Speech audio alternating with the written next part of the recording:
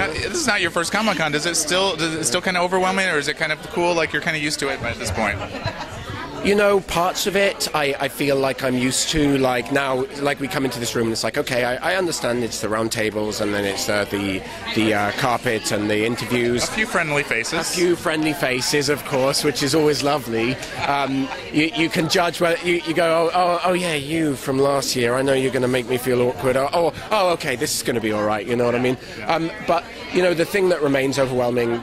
Uh, at the risk of sounding cliche, is is seeing the fans firsthand because we film. Uh, I mean, in a bubble in, in Atlanta and New Orleans. We're we're there. We're often kind of away from all the hype of the show. So, you know, um, going and doing the panel, walking the streets. Uh, having face to face contact with the fans, you see, wow, people really, uh, they really do respond to the show and, and relate to it, and that's something which is incredibly rewarding and, and, and always sort of I'm taken aback by that. Like I think, oh, this year it will have died down a bit, or this year it won't be the same. But no, it's it's amazing. Fans like seeing you guys.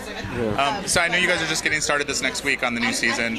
What what do you know about Klaus's journey, and is the guy going to find a little happiness maybe this year, or a little happy? I don't know. You know, I I mean, I, I've read the first few episodes we find him as we left him, although some time has passed. You know, he's alone. He's alienated everyone in his family, especially his brother.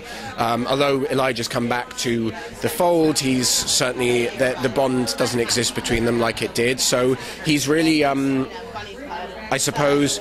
Klaus wants everything to get back to normal, but it can't because he's, you know, put this or uh, uh, helped put this curse on Hayley, so she's a wolf now through the, the, the month, and he's alienated his brother by killing his girlfriend, and uh, you know, pretty much betrayed everybody who was on his side before. So he really is, um, y- you know, he's he's uh, a lonely king of the castle at the beginning of season three. Um, one thing I can tell you uh, which I don't know if I'm supposed to, but Julie's busy, so I'm going to, is that um, season three, I think for me at least, feels like uh, season of the vampires.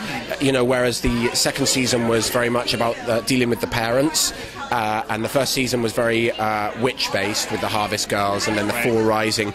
Season three seems to be all about uh, the vampires, the sires sort of, of Klaus and Elijah. like a lot of horse is Elijah's storyline during season three. Uh, he he's basically finds himself in a vat of manure that, that Klaus has has had brought in from the stables of New Orleans, and, and is forced to kind of swim to the edge uh, whilst trying to uh, prevent himself from choking on the excrement. So, I was going to say, and that's a good thing for Daniel to have to go through. I absolutely, absolutely. Uh, real quick, um, for fans that want to see Klaus and Cami together, is there some hope that there might be some little love in there? I mean, man, you're asking the wrong person because I mean, there's always hope, right? There's hope for for Klaus and everyone, I think. But you know, Klaus seems to be the the. Um, the, the, the, one who will trample hope at every corner. You know, just when it feels like it, it, it might happen, he's the one kind of stamping it out and messing it up. So Tragic I don't figure. know. I know, right? So sad. Yeah.